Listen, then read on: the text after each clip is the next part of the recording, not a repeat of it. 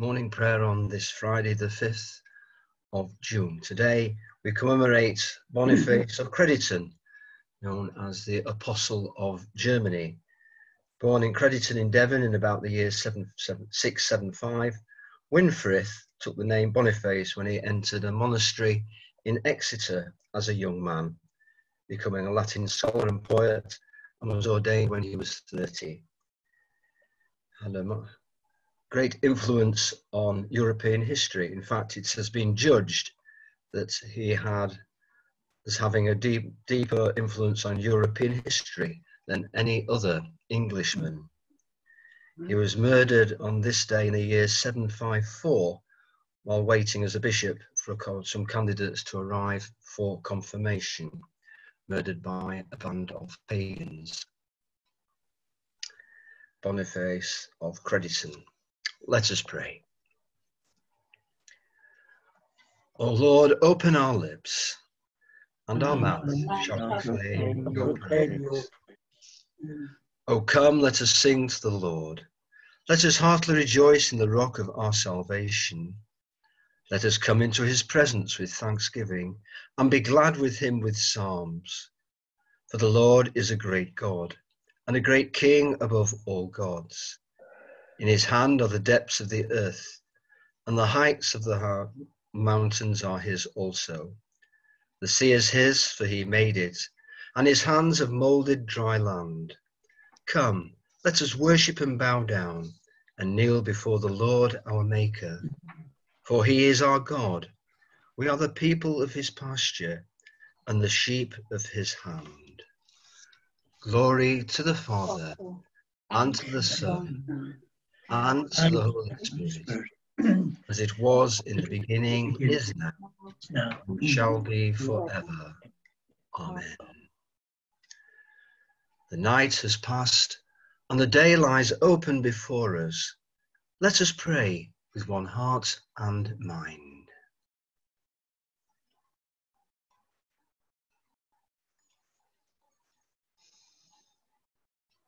As we rejoice in the gift of this new day. So may the light of your presence, O God, set our hearts on fire with love for you, now and forever. Amen. Psalm this morning is Psalm 144.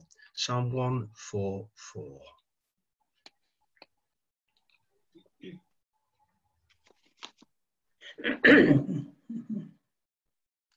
Happy are the people who have the Lord for their God. Blessed be the Lord my rock, who teaches my hands for war and my fingers for battle, my steadfast help and my fortress, my stronghold and my deliverer, my shield in whom I trust, who subdues the people under me. O Lord, what are mortals that you should consider them, mere human beings that should take them thought for them. They are like a breath of wind. Their days pass away like a shadow. Bow your heavens, O Lord, and come down. Touch the mountains, and they shall smoke. Cast down your lightnings and scatter them. Shoot out your arrows and let thunder roar. Reach down your hand from on high. Deliver me. Take me out of the great waters from the hand of foreign enemies, whose mouth speaks wickedness, and their right hand is the hand of falsehood. O God, I will sing to you a new song. I'll play to you on a ten stringed harp. You that gave salvation to kings and have delivered David your servant.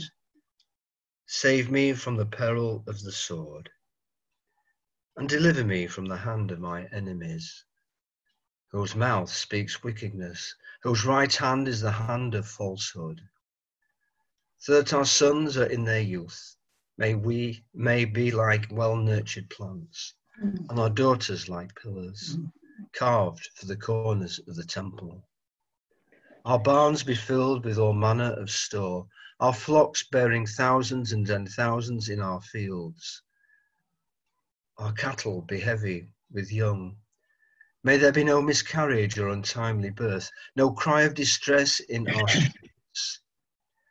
Happy are the people whose blessing this is. Happy are the people who have the Lord for their God. Glory to the Father, and to the Son, and to the Holy Spirit, as it was in the beginning, is now, and shall be forever. Amen. Our first reading is taken from the book of Joshua, chapter 5. At that time, the Lord said to Joshua, mm-hmm. Make flint mm-hmm. knives and circumcise the Israelites a second time. So Joshua made flint knives and circumcised the Israelites at Gibeath Haaraloth. This is the reason why Joshua circumcised them all. The males of the people who came out of Egypt, all the warriors, had died during the journey through the wilderness after they had come out of Egypt. Although all the people who came out had been circumcised, yet all the people born on the journey through the wilderness after they'd come out of Egypt had not hmm. been circumcised. For the Israelites travelled for 40 years in the wilderness until all the nation, the warriors who came out of Egypt, mm. perished, not having listened to the voice of the Lord. To them, the Lord swore that he would not let them see the land that he had sworn to their ancestors to give us, a land flowing with milk and honey. Though it was their mm. children, whom he raised up in their place, that Joshua circumcised. For they were uncircumcised, because they had not been circumcised on the way. When the circumcising of all the nation was done, they remained in their places in the camp until they were healed. The Lord said to Joshua, Today I have rolled away from you the disgrace of Egypt. And so that place is called Gilgal to this day. While the Israelites were encamped in Gilgal, they kept the Passover in the evening on the 14th day of the month in the plains of Jericho. On the day after the Passover, on that very day, they ate the produce of the land, unleavened cakes, and parched grain. The manna ceased on the day they ate the produce of the land, and the Israelites no longer had manna. They ate the crops of the land of Canaan that year. Once, when Joshua was near Jericho, he looked up and saw a man standing before him with a drawn sword in his hand. Joshua went to him and said to him, Are you one of us or one of our adversaries? He replied, Neither, but as commander of the army of the Lord. And Joshua fell on his face to the earth and worshipped. And he said to him, What do you command your servant, my Lord? The commander of the army of the Lord said to Joshua. Remove the sandals from your feet, for the place where you stand is holy. And Joshua did so. Here ends the first reading. Raise us up, O God, that we may live in your presence. In your presence. Come, let us return to the Lord who has torn us and will heal us. God has stricken us and will bind up our wounds. After two days, he will revive us, and on the third day, he will raise us up that we may live in his presence. Let us strive to know the Lord. His appearing is as sure as the sunrise. He will come to us like the showers, like the spring rains that water the earth. O Ephraim, how shall I deal with you? How shall I deal with you, O Judah? Your love for me is like the morning mist, like the dew that goes early away. Therefore, I have hewn them by the prophets, and my judgment goes forth as the light. For loyalty is my desire, and not sacrifice, and the knowledge of God rather than burnt offerings. Glory to the Father, and to the and to the Holy Spirit, as it was in the beginning, now and shall be forever. Amen. Raise us up, O God, that we may live in your presence.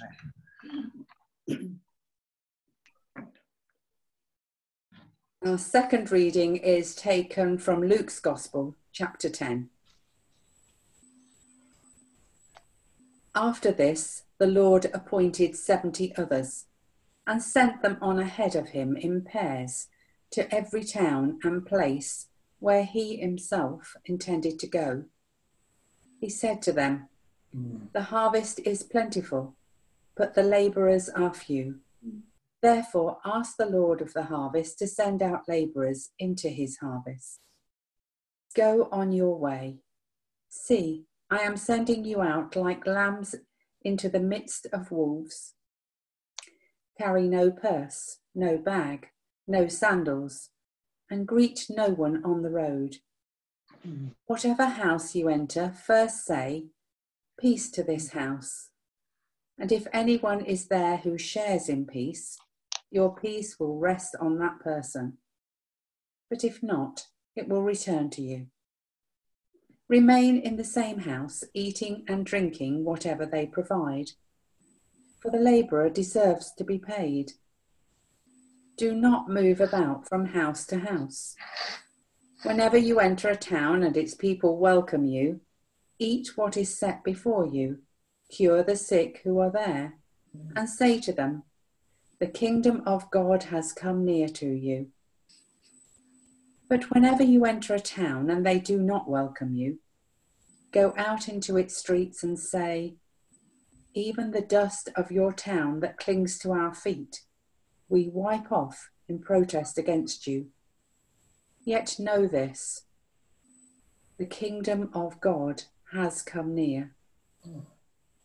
I tell you, on that day, it will be more tolerable for Sodom than for that town.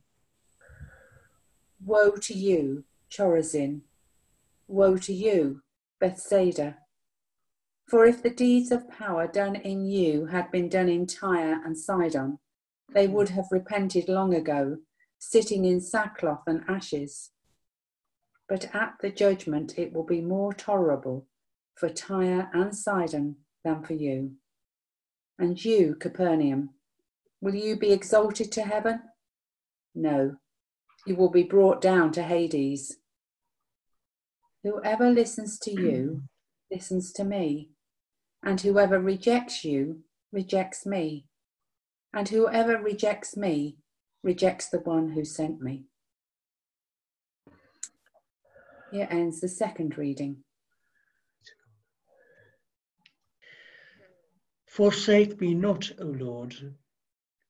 Be not far from me, O my God. Forsake Take me me not, not, O O Lord, Be not far from me, O my O God. my God. Make haste to help me, O Lord of my salvation. Be not far from me, O my God. Glory to the Father, and to the Son, and to the Holy Spirit. Forsake me not, O Lord. Be not far Far from from me. me, O my God. Blessed are those who are persecuted for the cause of right, for theirs is the kingdom of heaven. Blessed be the Lord, the God of Israel, who has come to his people and set them free. He has raised up for us a mighty Saviour, born of the house of his servant David. Through his holy prophets, God promised of old to save us from our enemies, from the hands of all that hate us, to show mercy to our ancestors, and to remember his holy covenant. This was the oath God swore to our father Abraham to set us free from the hands of our enemies, free to worship him without fear, holy and righteous in his sight all the days of our life. And you, child, shall be called the prophet of the Most High. For you will go before the Lord to prepare his way, to give his people knowledge of salvation by the forgiveness of all their sins. In the tender compassion of our God, the dawn from on high shall break upon us, to shine in those who dwell in darkness and the shadow of death, and to guide our feet into the way of peace.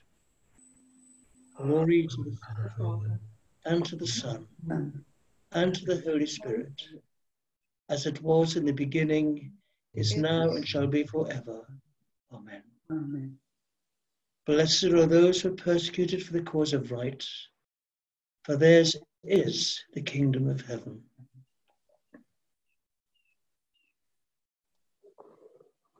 Let us pray. Heavenly Father, we come to you as your children. We ask that this day we will walk through this day, being the people you made us to be, and doing what you give us to do today. Lord, in your mercy, Hear our prayer. our prayer. We think of our world, the pain and the anger around the world at a sense of injustice, of not being heard. Amidst all of the things, all of the passionate protests that are going on about racism, we pray, Lord, that what is really at the heart of what they're saying will truly be heard and listened to. That those with power to influence change may have open hearts, may have attitudes that see everyone equally. Lord, in your mercy, hear our prayer.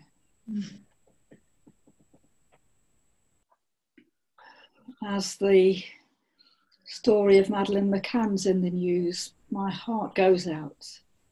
And we ask, Lord, for you to strengthen and support all people who have lost children or who have, who have missing persons of whatever age in their lives and who don't know the outcome. Lord, give them, especially at this time, strength and comfort. We pray for all that may be revealed in the Madeleine McCann case, and especially peace and strength for her parents and her family, and all of those who love her and her family. Lord, in your mercy, our our prayer. And as we continue to deal around the world with the coronavirus, to care for the sick, Mm. to do all that can be done to prevent its spread. Lord, we ask you to give strength and wisdom to all people concerned with caring, with researching, with returning to work safely. Lord, in your mercy, our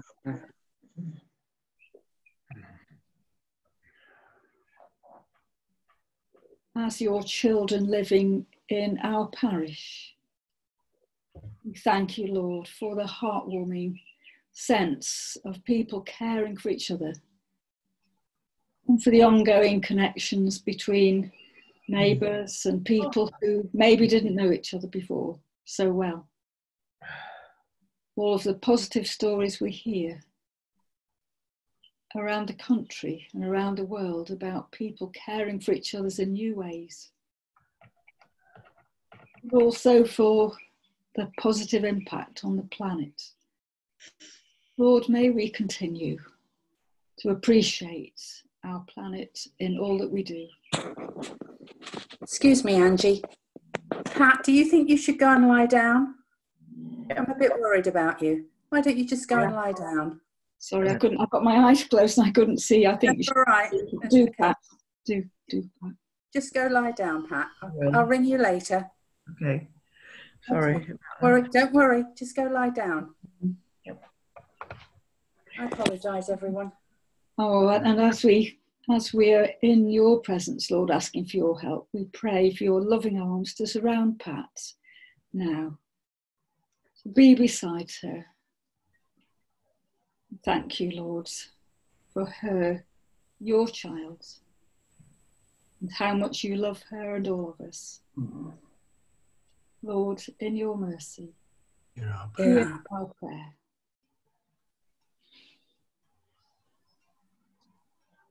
And as it's Friday, and often we'd be saying the litany for reconciliation outside at St. John's, uh, let's say together now. Oh, sorry, I can't share the screen. Never mind.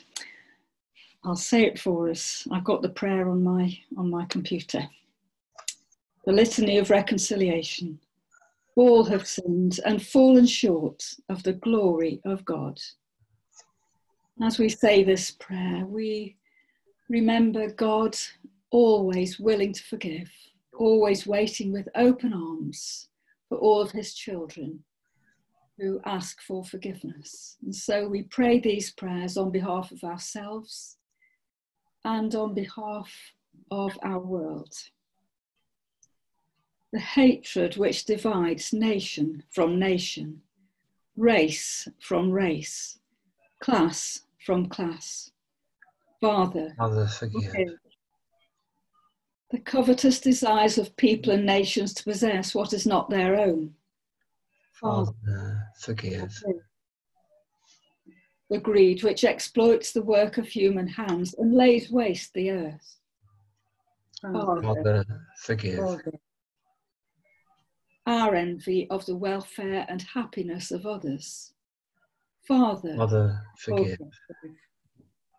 our indifference to the plight of the imprisoned, the homeless, the refugee. Father, forgive.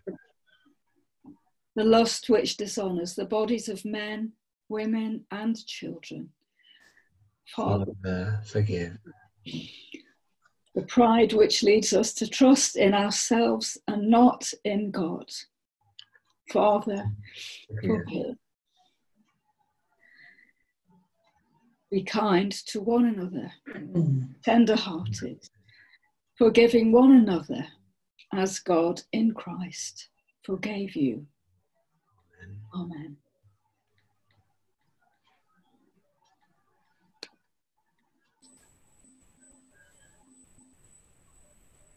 Finally, in a moment of silence, we bring to you, Lord, those things that are especially on our mind at the moment.